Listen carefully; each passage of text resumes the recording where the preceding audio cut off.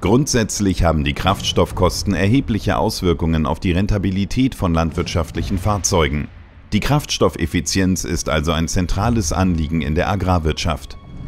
Ein entscheidender Faktor für die Kraftstoffeffizienz im Zeitraum eines Ölwechselintervalls ist die Fähigkeit der Vermeidung von Öleindickung. Im Motor gibt es innere Widerstände. Eingedickte Öle erhöhen diesen Widerstand. Vergleichen Sie es mit Warten durch einen Sumpf.